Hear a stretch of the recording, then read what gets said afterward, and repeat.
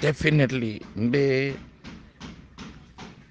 the UDP leader ba Usenu Tabo nga tentu nga jayi nga duwai fanang. Gambianol men expected to.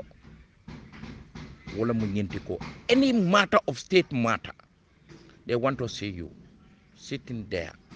Kajeko, Banko, no matter that we have a political difference, we need to first look at Gambia, but not our party.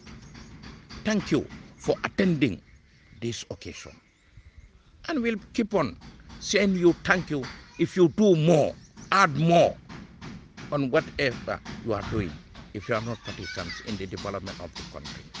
We'll say thank you and we'll pray for you.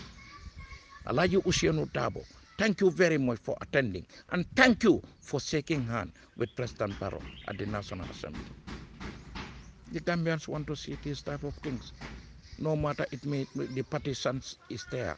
But when it's time for Gambia, we all need support set together to push Gambia at the highest level. The Gambia force. Thank you. Alhaji Ousainou. And whenever you attend a type of program like this, people appreciate and the government itself appreciate. And people are always happy about the unification. We don't want Ousainou to be there, the President Barrow is there, somebody is sitting there. No. We want to see the unification Gambia force, not a partisan force. Thank you for attending the occasion. And may Allah bless you and protect. This is what we want you to do. Every time, whenever you are honored to any occasion, please try and show your militants whenever it is Gambia, we are all together.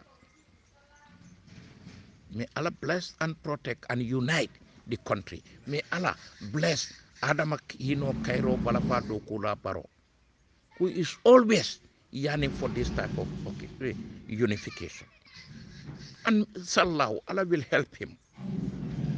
No matter it may take, no matter intimidation or harassment, ki- ki- what his intentions are, Allah will help him to unif- unify the Gambia people, to be shaking hands, no matter if the parties politics that everybody can go on your way. One day, if it is time for development, we all come together. May Allah bless and protect the government and the leader, President Adama Hino Cairo Balafado Barrow, the Speaker of the National Assembly, the Right Honorable Fabakary Kekendo Tomonjato Jatta, the mighty APRC party leader.